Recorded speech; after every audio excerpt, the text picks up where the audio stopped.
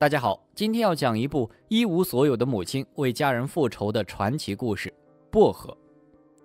女主莱利正在毒打一个手臂有纹身的混混，动作非常利落凶悍。解决对方之后，她回到自己藏身的货车，清理受伤的手，在伤口的疼痛中回想起一段痛苦的往事。五年前，莱利有一个幸福的家庭，她总是教育女儿不要与恶人争执。晚上，她和丈夫准备给女儿庆祝生日。但上司却强行加班，不准莱利提前离开。这时，她的丈夫正和好友商量一件能赚钱的大买卖。莱利回到家，发现生日派对因为女儿得罪了一个富家女，被所有人放了鸽子。之后，丈夫因为不想参与违法的事，拒绝了与朋友合作。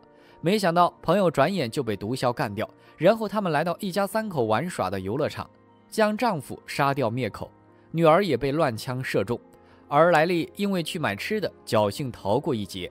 在医院醒来之后，莱利被告知丈夫是因为拒绝与毒贩合作被灭了口，女儿也当场死亡。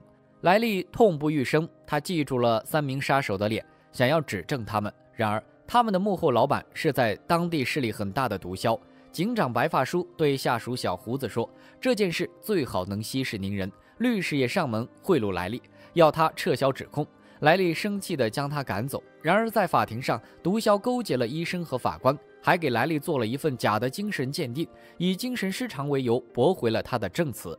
莱利崩溃地扑向杀手，要和他们拼命，却被警察抓住，准备关进精神病院。车子开到半路，莱利忽然打翻对面的警察，拼命逃了出去。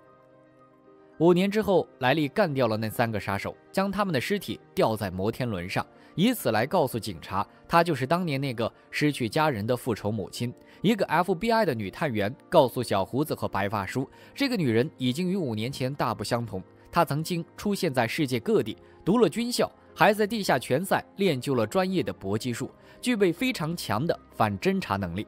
刚刚抢劫了一个军火库，选在女儿生日这天杀死三个仇人，这是一种审判。镜头一转，莱利来到当年那个法官家。将他连同房子炸得粉碎之后，他找到大毒枭的一个窝点，烧掉所有的赃款，逼问出制毒窝点的地址。很快传到大毒枭这里，他要求手下今天之内就要干掉莱利。莱利找到制毒窝点，准备将所有毒品一网打尽，但对方早有准备，已经布下炸弹。在发现莱利潜入后，引爆了炸弹。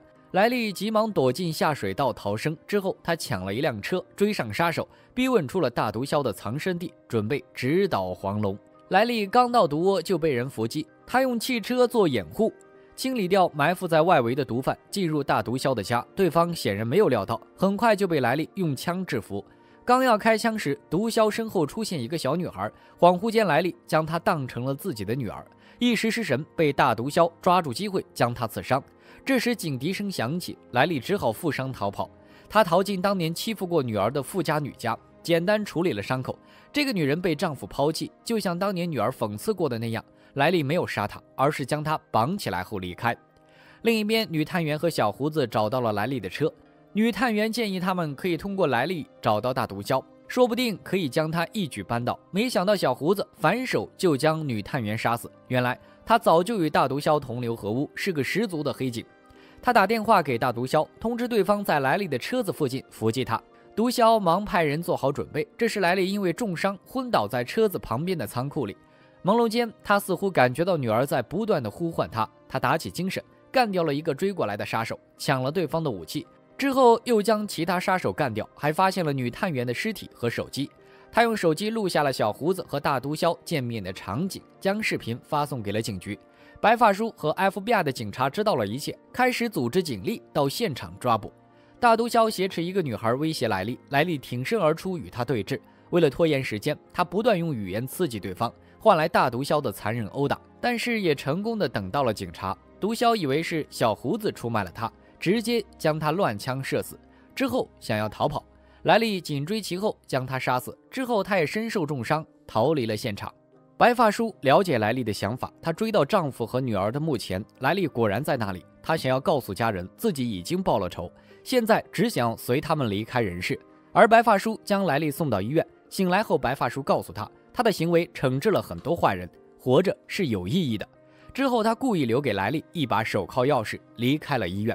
故事到这里就结束了。主演詹妮弗·加纳塑造了一个最强老妈的形象，打斗和枪击的戏份都非常惊险刺激，值得一看。好了，今天的视频就到这里，我们下期再见。